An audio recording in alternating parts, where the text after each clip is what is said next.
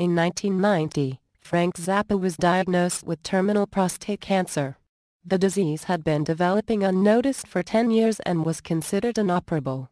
After his diagnosis, Zappa devoted most of his energy to modern orchestral and synclavier works.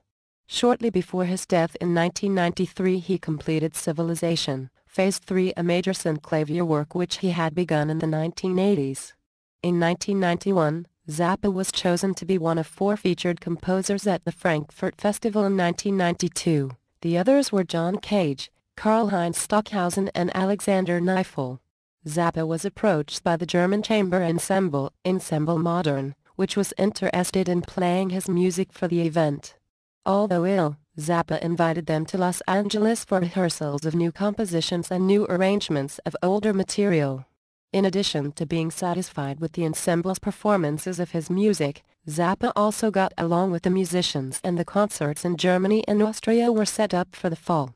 In September 1992, the concerts went ahead as scheduled, but Zappa could only appear at two in Frankfurt due to illness.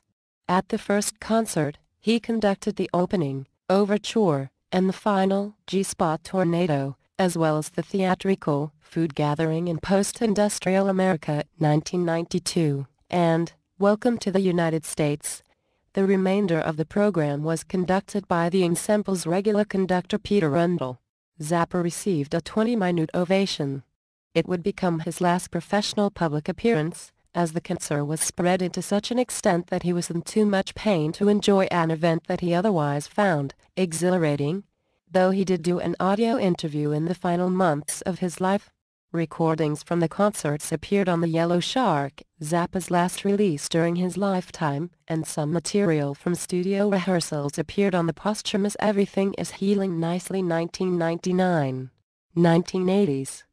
Frank Zappa died on Saturday, December 4, 1993, in his home with his wife and children by his side.